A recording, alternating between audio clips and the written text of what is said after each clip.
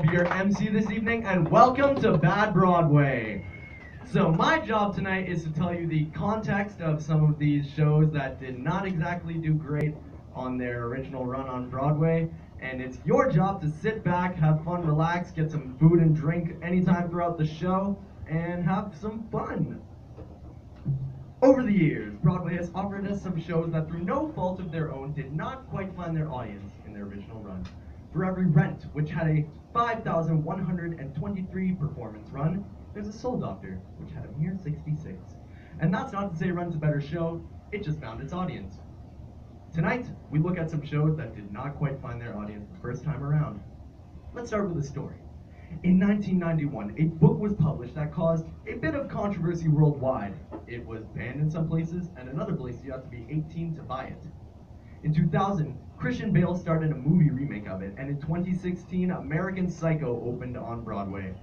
81 performances later and two Tony nominations, both for design, it closed with a killer soundtrack, exciting audiovisual designs, and a main character who charmed audiences into rooting for a serial killer. It should have become a smash. Instead, it closed before it could find its place. In the show's opening number, sung by Will, Patrick Bateman tells us about how materialistic the 80s could be.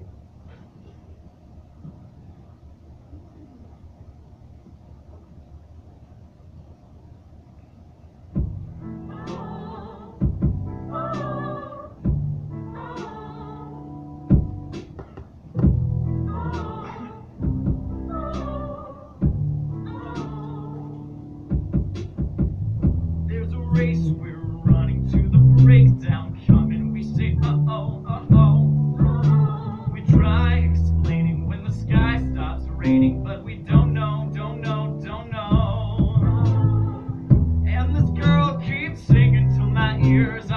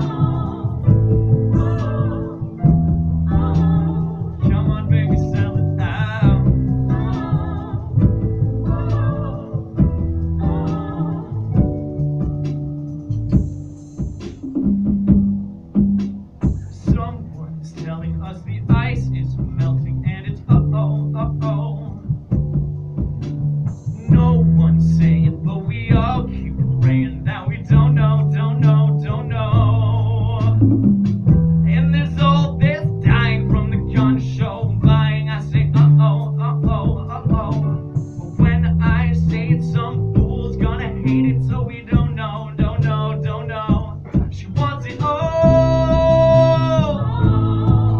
She's the next distraction. Come on, baby, sell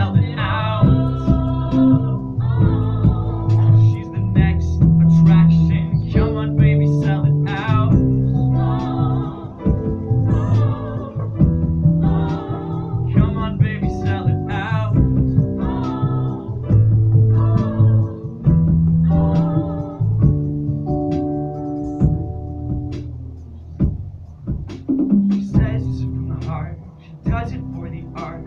I don't know, don't know, don't know. Cause everything I'm telling you is a song I'm selling you. It's uh oh, uh oh, uh oh.